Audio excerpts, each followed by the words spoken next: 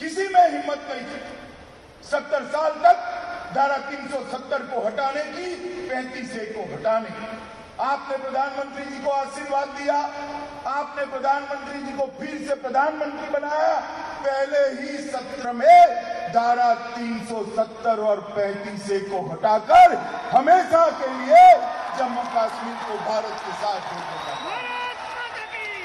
मित्रों मोदी जी ने जो फैसला लिया। वो मैं आपको उनके मंत्री नाते बता सकता हूँ, प्रधानमंत्री जी के अलावे कोई ले नहीं सकता। सत्तर सत्तर साल से कई लोग आए गए तीन तीन पीढ़ियों तक शासन करे, मगर धारा 370 नहीं।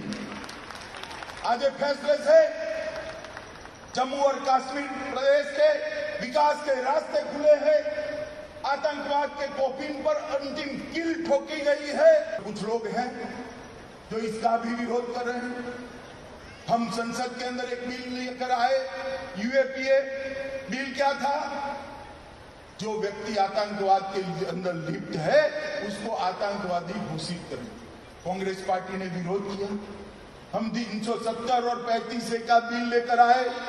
कांग्रेस पार्टी ने विरोध किया।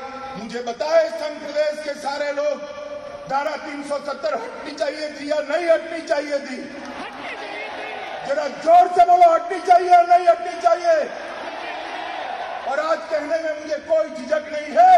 आज भी कांग्रेस के नेता राहुल गांधी जो बयान देते हैं, पाकिस्तान संसद के अंदर उनकी प्रशंसा हो। आज भी जो बयान देते हैं, उसका उपयोग भारत के खिलाफ पिटीशन इंग्लैंड में करने में पाकिस्तान करना।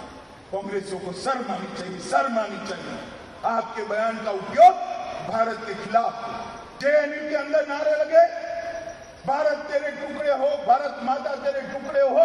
एक हज़ार इंशाला इंशाला इनके साथ जाकर खड़े हो। नरेंद्र मोदी जी ने सर्जिकल स्ट्राइक की। सवाल खड़े करे फोटोग्राफ कहाँ है? और पाकिस्तान ने तुरंत कहा फोटोग्राफ कहा? एयर स्ट्राइक करी। इसका भी विरोध करा।